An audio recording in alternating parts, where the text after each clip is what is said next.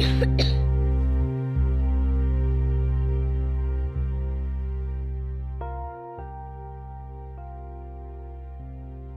biggest single air polluter is road transport such as cars.